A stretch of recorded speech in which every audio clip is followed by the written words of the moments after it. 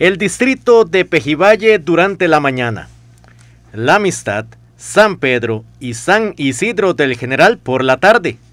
Serán zonas que visite el candidato liberacionista José María Figueres este sábado 4 de diciembre en su gira por Pérez Celedón. La generaleña Veracruz Barrantes, que aspira a una diputación por la provincia de San José, explicó parte del recorrido del candidato. Estaremos recibiendo a don José María Figueres el próximo sábado. Eh, va a estar durante todo el día y parte de la tarde-noche con nosotros.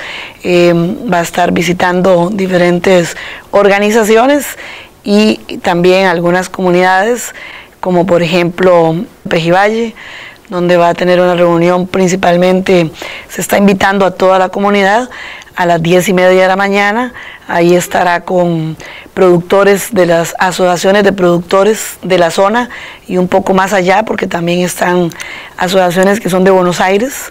La idea es aprovechar todo el sábado para visitar las comunidades y reunirse con representantes de varias agrupaciones. Vamos a estar en San Antonio, en el rancho Namú. Ahí vamos a estar a la una de la tarde, si Dios lo permite. Este, una de la tarde y eh, ahí con dirigencia comunal, toda la dirigencia del, eh, cercana al distrito y del distrito en general. Y posteriormente vamos a ir a la comunidad de San Pedro Centro.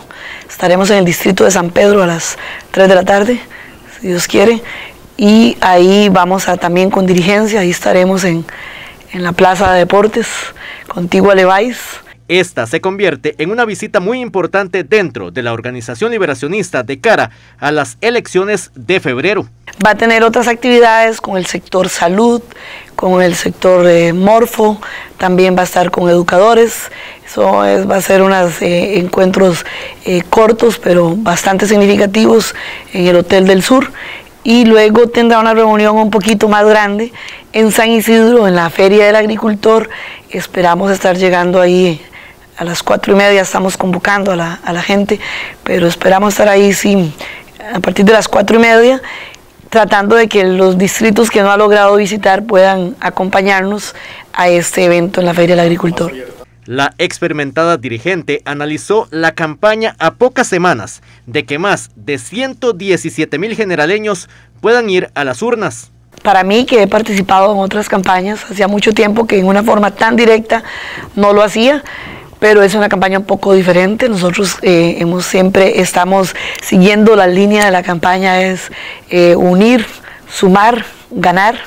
Y en ese sentido hemos estado, este, don José María ha sido pieza clave, por supuesto, porque ha unido al partido, ha unido al partido en todas sus tendencias, entonces hay representantes de todas estas tendencias en la, en la papeleta de diputados de todas las provincias y eso también en el cantón hemos hecho un esfuerzo también con la dirigencia de otras tendencias. Acercarse a las personas y otros dirigentes es parte de lo que se busca en este camino a las elecciones 2022. La parte de sumar es, eh, sabemos que el liberacionismo solo no puede alcanzar ese 40%, es difícil que un partido lo logre, entonces hemos estado en el afán de sumar, eh, atrayendo ese sector de la población que, que no ha tenido un partido definido o que también este, ha pertenecido a otros partidos en el pasado y que siente cierta afinidad por el candidato y entonces hemos estado haciendo un esfuerzo propio